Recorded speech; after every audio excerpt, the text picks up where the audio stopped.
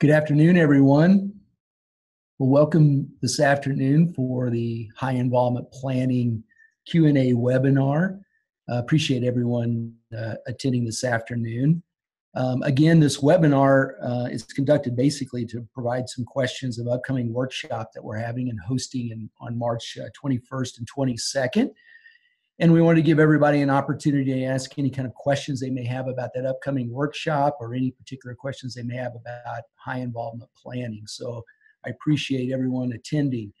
Um, uh, just a little bit of a, a technical and logistics uh, to share is that we do have a chat window. So if there's some questions that you have um, that you would like to share, please use the chat window and uh, I will pick those up and, and try to get those answered. Uh, prior to this uh, webinar, we did have some questions that were already posed, so I'll, I'll use those first, and uh, and we'll get through as many as we possibly can here in the next 30 minutes. So again, thank you for attending. I want to take just basically the first uh, uh, three to five minutes here to talk a little bit about high involvement planning and kind of set the stage. Um, I'm assuming that most of you that are on uh, this webinar um, are familiar with the Great Game of Business process. Um, and sorry, I'm just trying to use the slides here. Um, the the basic process for the for the Great Game of Business, um, uh, the HIP, I should say, the High Involvement Planning process, um, is a practice within the whole entire Great Game of Business pro- practice. And uh, it is a very critical part of the uh, great game of business practice because it's really about the sustainability of the game. Um, I would tell you that from my experience at SRC, it's been really the linchpin in terms of our success with the game over the last 35 years. It's what's kept it sustainable, it's kept it exciting, engaging over the years. Um, but it is a process that we suggest some practitioners uh, get into later in their journey of practicing the great game. Maybe 12 24 months into practicing the great game of business because it's really important for us to start with kind of the foundational practices of the game first. So just give me one second and see if i can get these items to slide. Okay very good very good um, so again, the basic overall practices of the, the game is, is based on really three core principles. Um, one is to educate the employees about the business so people begin to think, think like owners. Second is empower the employees uh, to use that knowledge of the business to actually make better decisions and to begin to act like owners of the business. And lastly, to engage those employees by providing a stake in the outcome. We're able to improve the results of the company, what's in it for me? What's in it for the employees? So they begin to feel like owners of the business. Now, of course, those practices are centered around uh, sp- specific, uh, those principles are centered around some specific practices that we teach. Um, and so, for example, in Know and Teach the Rules, there's financial transparency in education, the idea of the critical number, but also the high involvement planning process, which is what we'll focus on here today. Um, on the follow the action, it's about keeping score and scoreboards without the within the company. Follow the action through a series of huddles and then the forward forecasting practice. And then, of course, staking the outcomes is a reward and recognition, mini games, and ownership. And again, these are all the practices that kind of make up the, the overall process of the great game of business.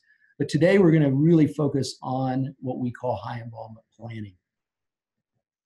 Um, again, just to position this a bit in terms of an implementation journey that we would suggest for a, a practitioner, um, we really start with the idea of just experience the game first, of giving, an, a, a, giving you an opportunity to maybe visit with practitioners, come to SRC, see our living lab, figure out if this is right for you and your organization. Then we go into what we would call design the game, to design the game specifically for you, the foundational practices uh, that I just shared with you, some of those basic items like mini games and scoreboards and, and huddles. Some of those foundational practices embed those into the into the company. And then play the game and see some of those initial results that you can get from it. Um, and then finally how do we sustain the game? And that's really where high involvement planning uh, lies is the ability to move kind of from that kind of 90 day view of your company or an annual view of, of where your business is going to more of a three to five year view of, of the business. And looking at it from a, a big picture sense and and uh, how uh, give give the employees a more um, understanding of what the big picture looks like and where they see themselves and the organizations three or four or three to five years out. So this is where where we would uh, position a lot of the practices that we talk about within the high involvement planning process. So the workshop that we have coming up on March 21st and 22nd is really designed it's a two day workshop that's really designed to equip you and your team with the tools and the practices and the know how that, that our coaches use and that we've used over the years at SRC to sustain a high involvement planning process. Um, where you consistently are involving, informing, educating the entire organization on the realities of the marketplace and the company's strategy for growth. Uh, the other benefit of the workshop is it's also a place for you to learn and share and discuss kind of the unique uh, challenges and rewards of running a workplace uh, open book. Um, usually, we have a lot of practitioners in the room that have been playing the game at various levels, um, and it gets an opportunity for them to share some of the things that are happening and and and and maybe uh, use kind of the group setting to help each other with the success of open book management. Probably the other really uh, uh nice add to this workshop is the ability for you to visit our living lab, which is SRC Holdings, the parent company um, uh, this gives you an opportunity not only to see the practice of high involvement planning in action, but visit with the people that actually have to do it day in and day out. So, part of the workshop, we would certainly include um, a panel of some of the, the leadership uh, from, from vice president level to general manager level to the sales and marketing team um, people that you can visit with and ask them questions and get more insight in terms of how to use some of these practices within your business. Um, so I think that's a great opportunity. You also have an opportunity to listen directly from one of our sales and marketing directors and see the presentation that was at that was that they had delivered just here back in October, which is part of the rhythm. So you'll get to see exactly uh, some of the tools, some of the practices and things that we'll teach in the workshop you'll see how they've applied it themselves here at SRC. So that's a, a little added benefit of uh, attending here at, at SRC.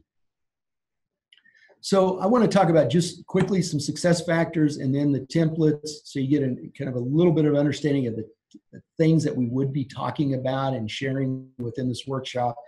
And then I'm going to open it up for Q&A and, and, and uh, answer any questions you guys may have about the program um, and, of course, the workshop.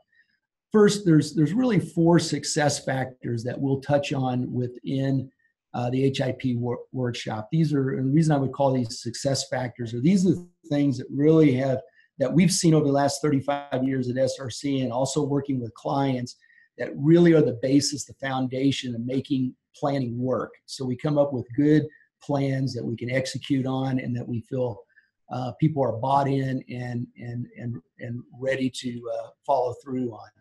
Um, so I want to walk through those real quick. The first one is a foundational mantra you'll hear all the way through Great Game, but primarily in HIP, is the idea that people support what they help cre- create. Um, one of the quotes I often use from Jack is the way you produce the plan is just as important as the plan itself. You know, to really get ownership and ensure results, they, you really need to focus on how the plans are created and how people are involved in that process. Um, another kind of mantra that we use is that people don't participate. If people don't participate in the process, they're probably not going to buy in. And if they're not going to buy in, they're probably not going to commit. And if they don't commit, they're not going to deliver. So we want to find a way for people to participate in the process, to buy in to the plans that we are to create, and we have a more likelihood that the you know the plan will be successful because people are are committed to delivering that plan. So the idea is to move or shift that mindset from that's your plan, that's leadership's plan, to this is our plan. And we're, we're all responsible and accountable to, to achieving it. So that's a that's a big success factor that we'll talk a lot about in the workshop and how we use tools and practices to help pull that off. Um, the next one is really about how how can we play a game if you don't know what game you're in, right? So it really comes back down to making sure that the plan is rooted in reality. Um, there's too many examples of companies that have gone through extensive strategic planning or financial planning, they've done it really with the, with what they consider the smartest people in the room or the leadership team. They build a plan in kind of isolation, and then they move and they hand it down to the rest of the organization. First of all, that kind of process doesn't necessarily create a lot of buy-in, but often it also doesn't include much sense of what the real the reality of the situation is and what the marketplace is telling us in terms of the challenges we may have. So we we spend a lot of time in making sure that our strategy is built on that that reality. And in fact, good plans uh, with a lot of broad participation, those specifically those people that are that are closest to the action, are the ones that uh, will create the uh, is, is will will create better plans. So we want to provide um, the best possible understanding of those ri- realities by getting broad participation in the plan.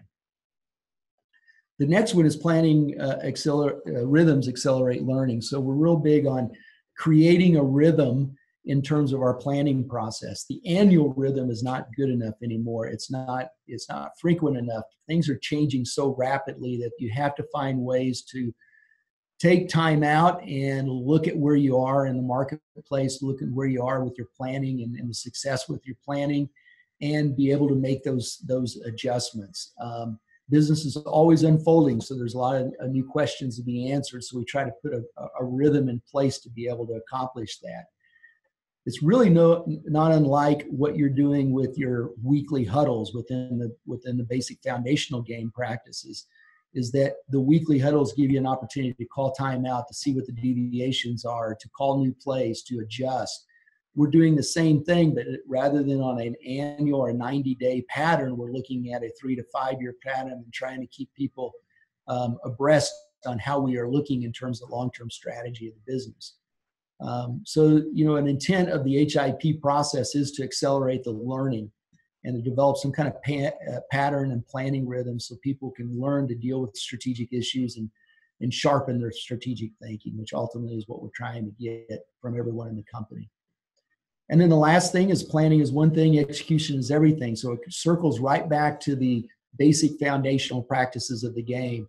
Um, everything from your huddle huddles to your mini games to your critical number to your bonus plans uh, to your forward forecasting that you use within the game. Those are all good execution tools. Those will take you know our beautiful plans and and find a way to to um, actually pull them off and execute on them with the basic foundations of the game. So these discipline this disciplined approach to working the plan and dealing with market changes keeps everyone focused and accountable for the results. So again, all of those those are just the success factors we'll talk a lot about. But what's most important is what tools, what practices, what processes do we use in our planning process to actually accomplish these um, uh, um, and, and make this a reality. So a question you may need to you know ask yourself as you're looking at the high involvement planning is does your, how does your current planning process stack up to these success factors? Do you have a way to get everybody involved? Do you have a way to make sure that the reality is put into your plan? Do you have a way to um, have frequent planning rhythms within uh, your company so you stay um, uh, true to the changes that are happening in our marketplace so fast and then do you have a good way of executing on it um, some of the things that you may uh, consider as you're looking at hip um, the, there will be four different planning templates that we will share within the workshop that really are the basis behind um, our planning process to be able to, believe, to help us with those success factors. Um, one is a sales and marketing presentation template. The next is a, what we call a strategy for growth playbook te- template. First, the sales and marketing presentation is what we use to make sure that we do bring the reality of the marketplace uh, to everyone um, on a frequent basis. The strategy for growth is all about creating uh, what is the strategy? What's the how behind the plan? What are the specific things we're going to do to achieve our our goals?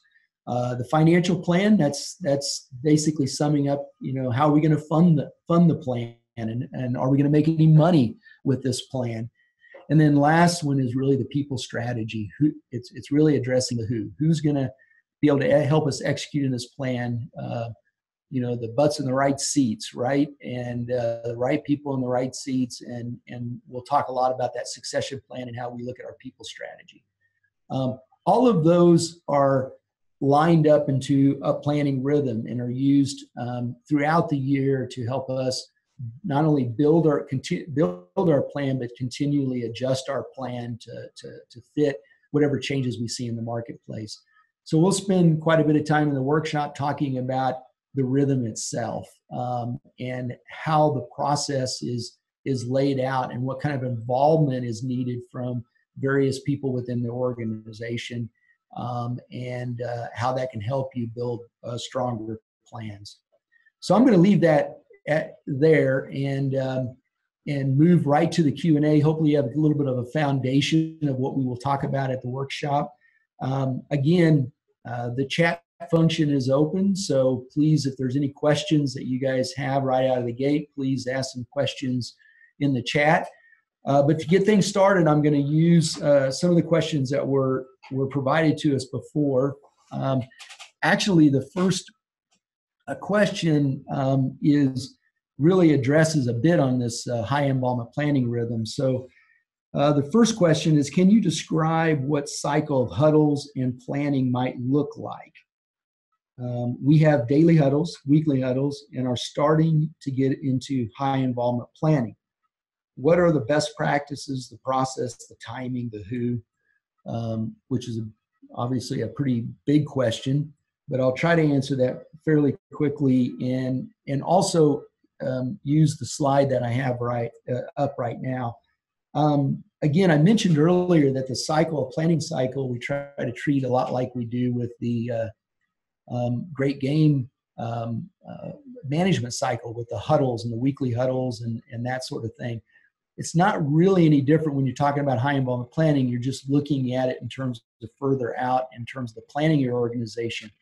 Um, so again, if you if you look at uh, you know this particular slide, it it addresses the templates that we use, the planning templates that we use, and then how often we meet in terms of those planning templates. So um, the the the the rhythm is that we look at our marketplace at least twice a year.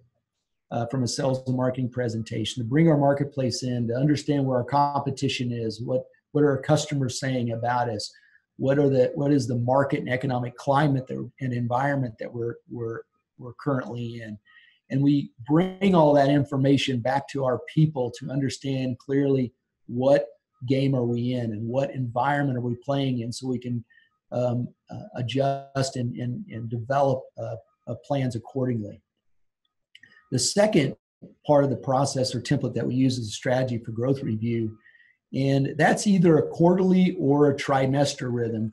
Um, we use a trimester rhythm at SRC Holdings, and some of our practitioners use that.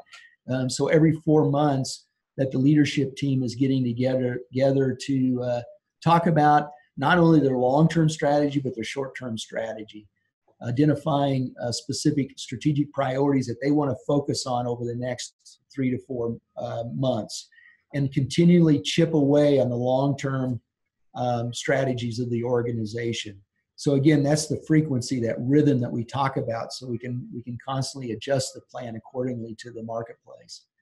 Um, the financial plan is created on an annual basis, so our planning process would start um, sometime in the uh, you know the September October period, and then finalize in December.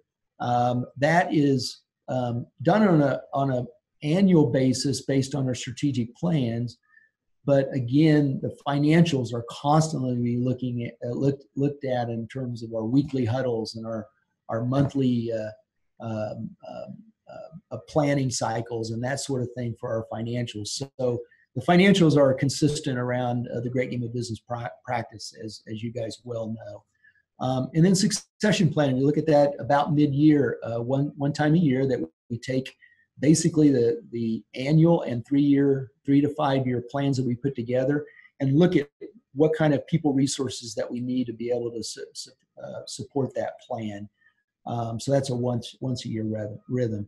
So hopefully that gives you a little bit of an understanding of you know uh, what the rhythm of the planning is, but also uh, some of the people that are involved um, uh, in the process. Obviously, this is called high involvement planning, so we get as many people involved in the process as we possibly can. Um, but primarily we want them to participate in the process so they have greater buy-in in terms of the plan um, as we go forward. One of the next questions um, was how much time should I carve out on high involvement plan throughout the year? Please break it down by quarter, month, and week. Hopefully, I've, I've done that here. Again, you know, the sales and marketing presentations, you're looking at, you know, those could be a half a day based on the size of the company.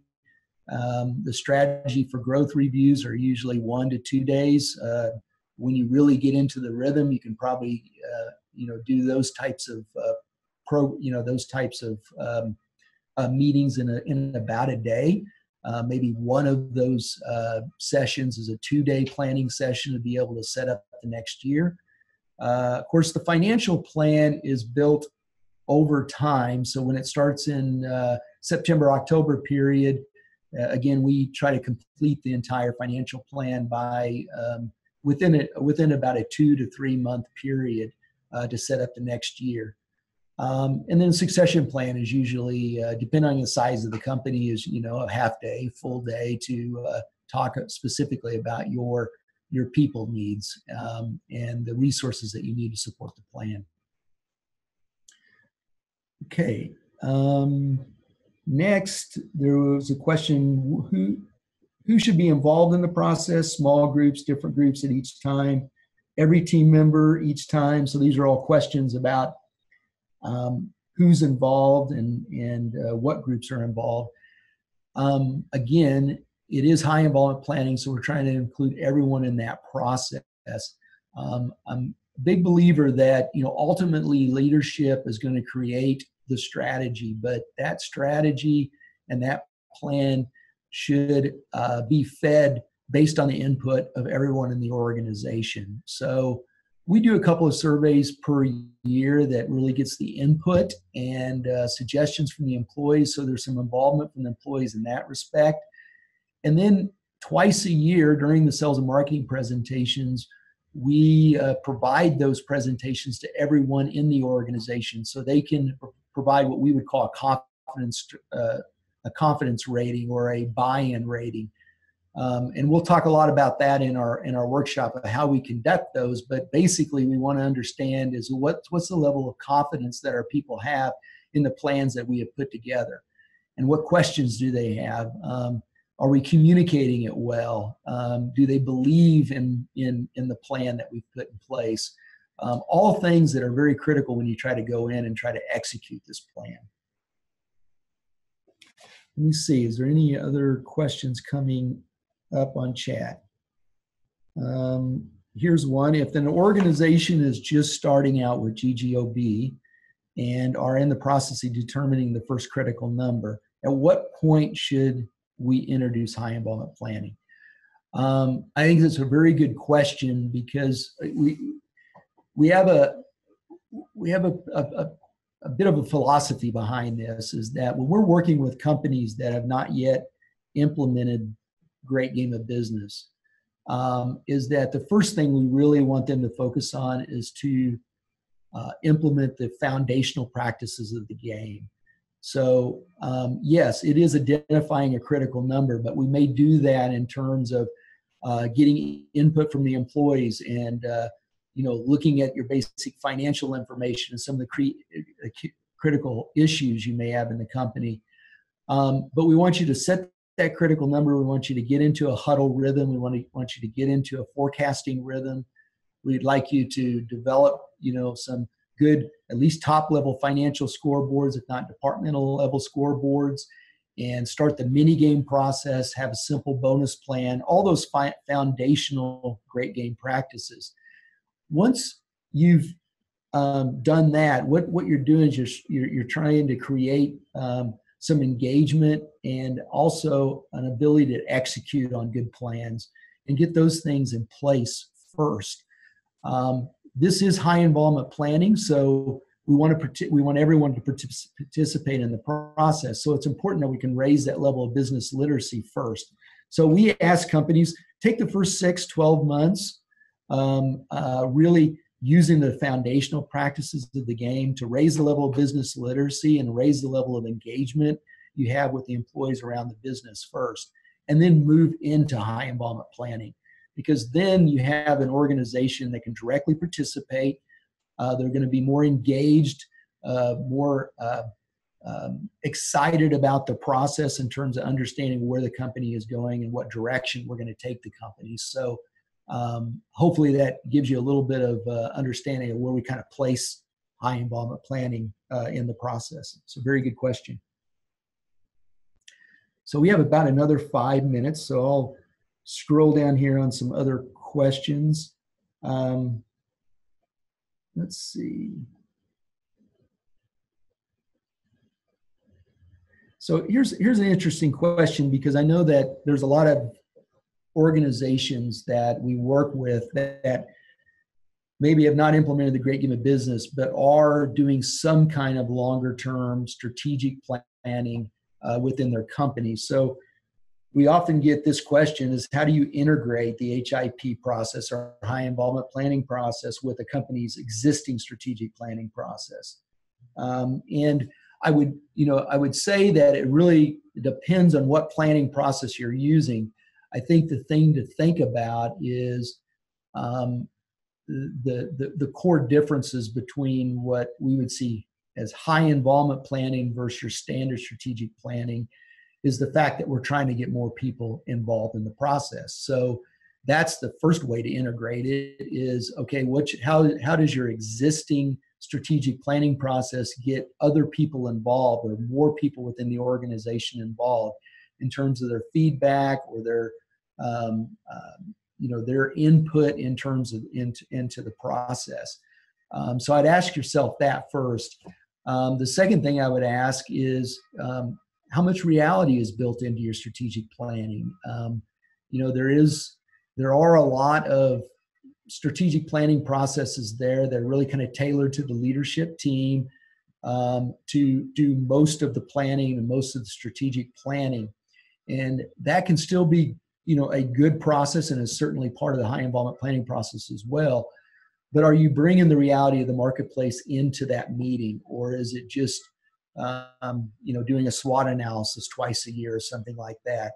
Um, one of the most impactful things about hip that i've personally seen over the years and and our practitioners have certainly experienced from hip is the sales and marketing process twice a year where we encourage the sales and marketing team and the organization to take a template and really tell us what's happening in the marketplace from the you know the, the economic client uh, climate to the to the to, to their specific industry and market to what the competition is doing what the customers think of us.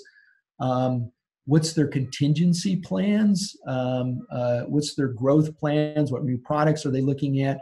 All those things are part of what we call our sales and marketing template that we'll talk about in great length at the at the workshop. But what that does is it it really forces the organization to take stock in their um, the marketplace they're in and how successful they are in that marketplace at least twice a year so that we know again what game we're in so you can make better plans and make better adjustments um, so i think that's a that's a process that I don't see very often in standard strategic planning processes. So, so that's something that you could integrate into an existing plan as well. So I think we only have about a minute left, but I'll, I'll tell you what, um, there are a few more questions that have popped up on the chat. So I'm going to stick around for another five minutes, answer a few more questions. You guys are, you know, um, uh, perfectly welcome to stay on with me for the next five ten minutes to go through these uh, couple more questions. Um, or if not, if you, as you guys are, are leaving, I would, would uh, tell you that um, we're going to provide you a link after this webinar that will link you to the HIP workshop um, uh, section of our website.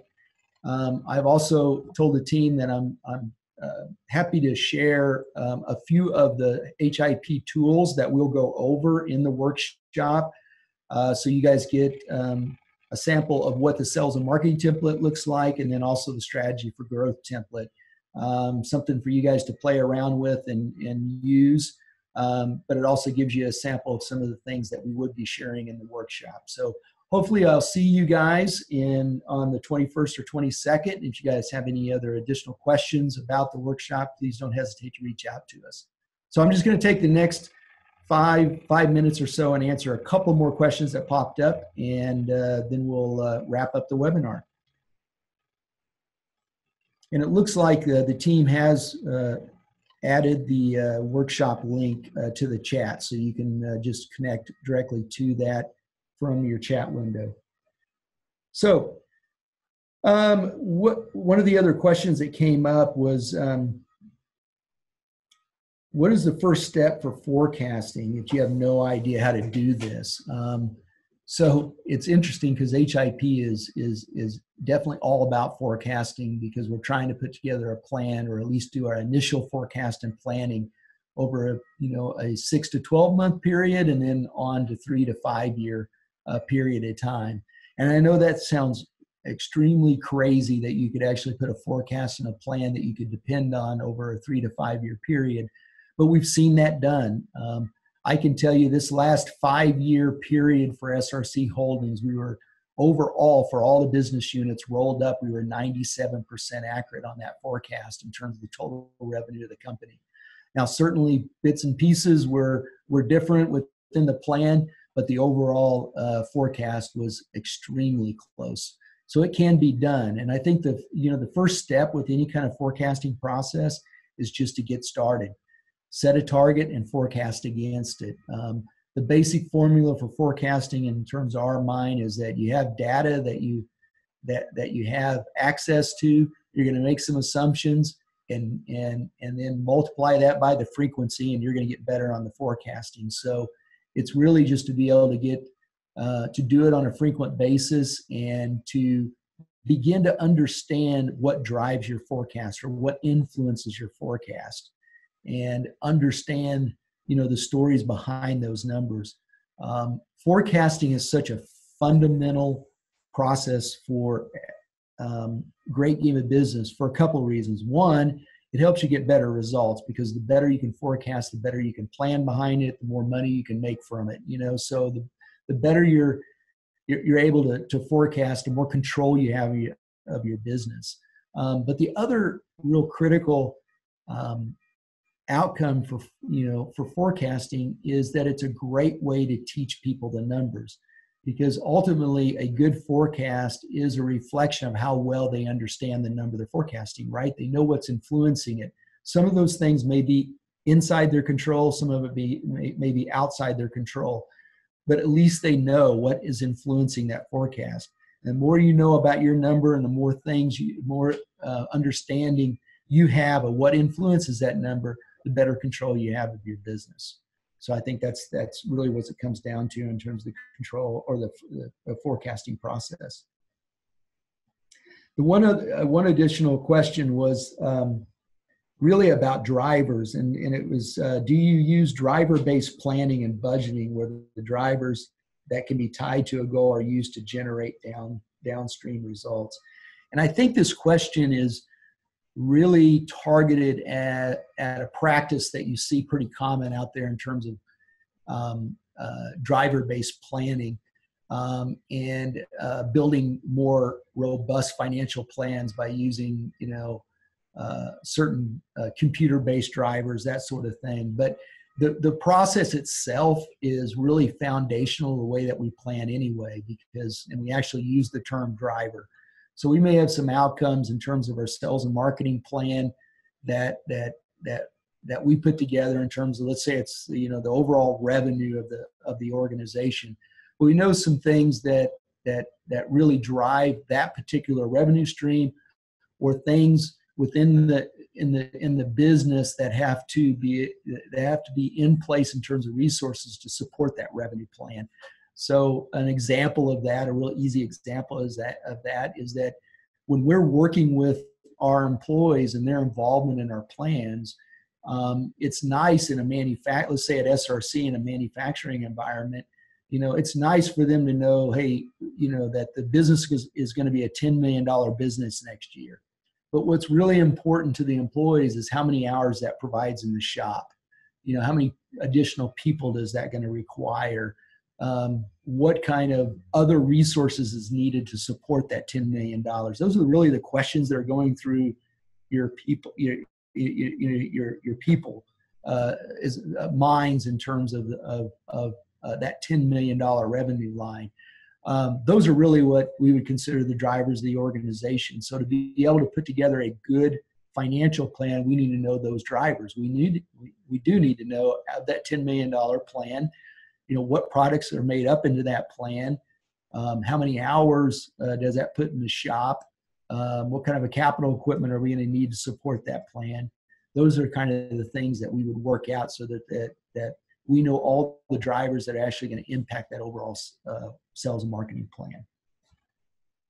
So um, those were the last two questions I saw that was on the chat. So um, hopefully, again, uh, those that stayed over, that was helpful for them. But uh, again, thank you for joining us. And uh, if you have any additional questions about high involvement planning or the upcoming workshop on March 21st, 22nd, uh, please don't hesitate to reach out. And thank you guys. Thanks for joining us.